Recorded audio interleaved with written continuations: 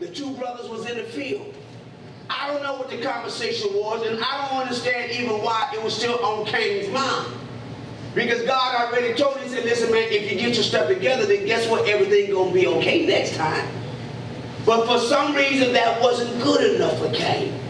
Cain was still caught up on that his brother outdid him during sacrificial time. And so now he slew his brother. He took his life. Now this right here kind of messed me up right here because when God came to Cain and said, hey, hey little homie, where your brother at? He said, how should I know? Something came to me that God must appear in a similar likeness for him not to get the respect. How you gonna tell God you don't know when God created you and everything thereof?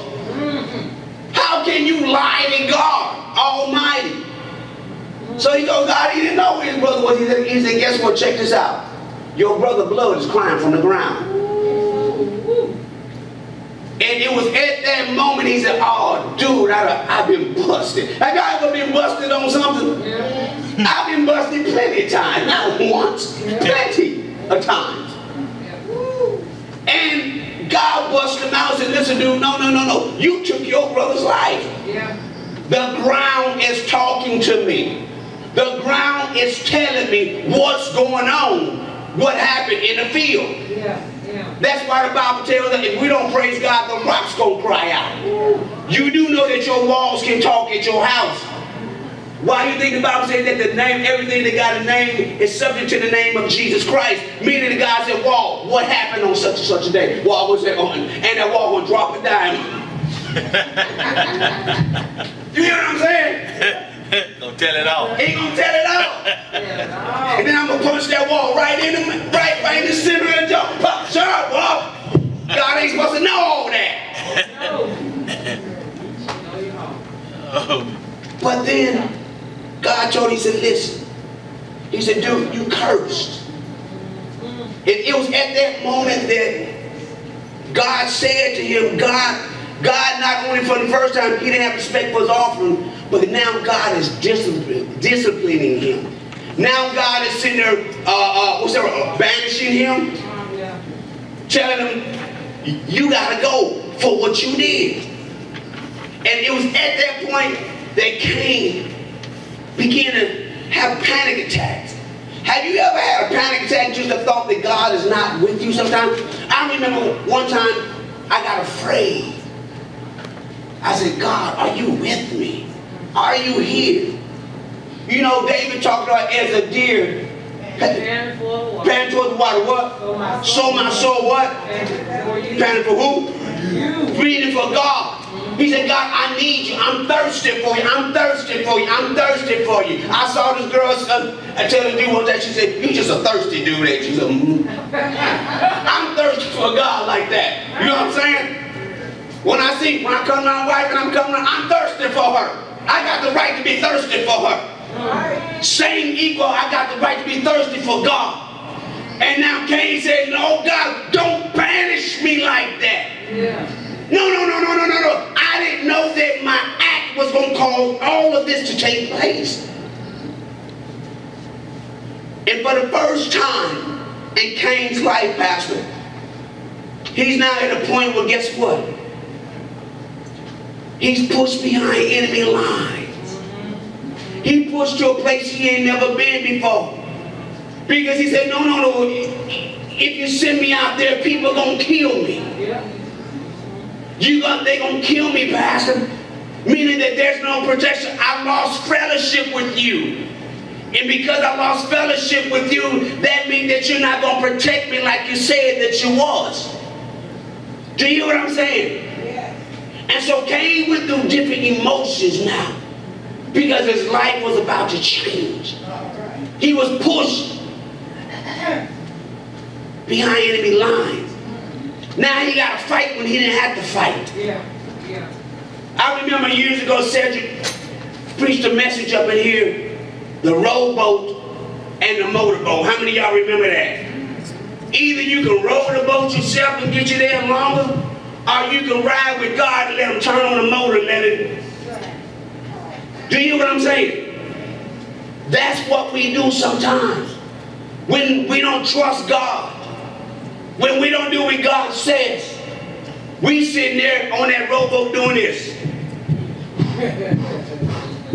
I've been on that water out there in a canoe. My wife had a wild idea we need a family retreat, and she put us in all that water.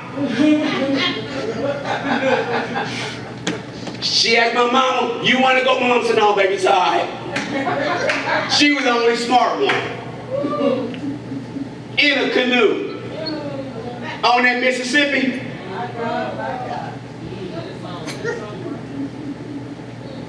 But Cain began to panic because God told him, You're banished, you're out of here. And it was at the 14th, look at 414. This is when everything become clear that everything that was about to take place. He said, Behold, thou hast driven me out this day from the face of the earth, meaning my good life. Meaning that Eden, that secret place that you, you, you know what I mean? You made for me and my family. Because number one, my daddy got us kicked out of Eden. So the place that you allowed us to go was a type of Eden. And now you kicking me out of that place? He said, out of this day from the face of the earth and from the face, he said, and from thy face shall I be hid. He said, God, I can't I can't, I can't live without seeing your face. See, now Cain is faced with that he got to fight. That's one thing that I tell kids, you know me, I remember as a kid, I'm like, I can't wait till I get grown. I can't wait till I get grown. I just couldn't wait till I get grown, but I didn't know that I going to pay bills when I got grown. I didn't know that I had to buy my own food. I had to buy my own drawers, my own socks. I didn't understand the, the, the, the responsibility of that thing that I thought that I wanted. Do you hear what I'm saying? Amen. And so Cain, Cain was tripping about his offering. And the only thing God told him said, get over it, baby. You get over it, everything will be cool. You don't get over it, all hell gonna break loose on you. So meaning because he didn't set his mind right.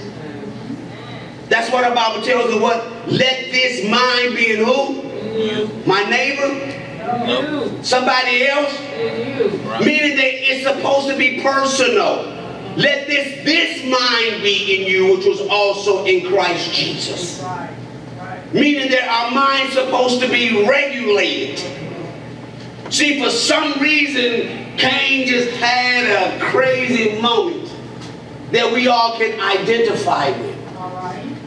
And now he's fighting in a place, Pastor, that he really wasn't prepared to fight. That's like putting me in the ring with Mike Tyson. I'm going to get killed it. You hear me? I'm going to get one or two punches and I'm going to run around the ring. I'm going to let you know. I'm not going to take them punches from Mike Tyson. But I'm going to get one or two before I die. Meaning that I wasn't prepared for that arena.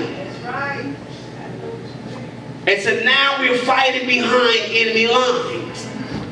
And anytime you find yourself fighting behind enemy lines, either two things gonna happen. You're gonna be, you gonna win, you're gonna lose.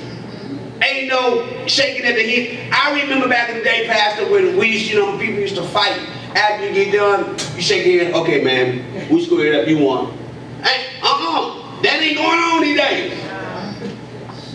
Yeah, that's right, people can't take taking no buck with I can take one of them buck whipping. I came from that generation. And then after that, say, hey man, come on, let's go play some basketball or let's go get some to eat. I'm not to take your life. Not unless you threaten their life. Me, I don't worry about me. I'm cool. Now you mess with them, then that's when you got to deal with me. You got to do my alter ego is what they call it. You don't want to know him. You're crazy. No.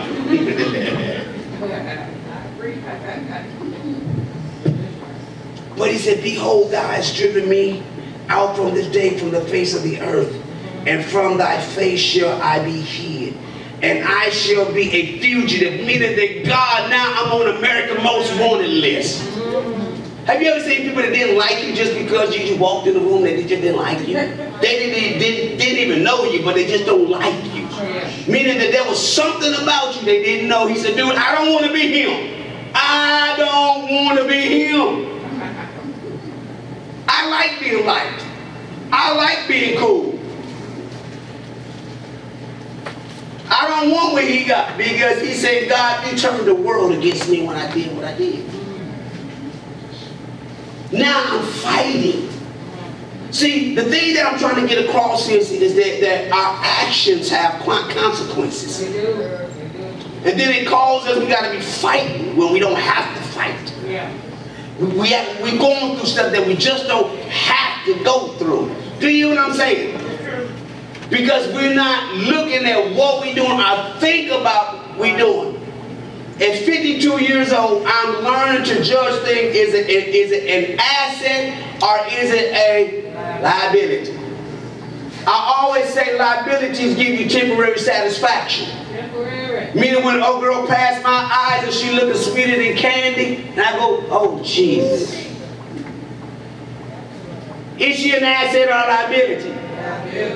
Because number one, she don't belong to me. She's not in covenant with me. Because although it look good, you don't know what diseases may be lurking at my door. But an asset is something that initially I don't see the benefits of.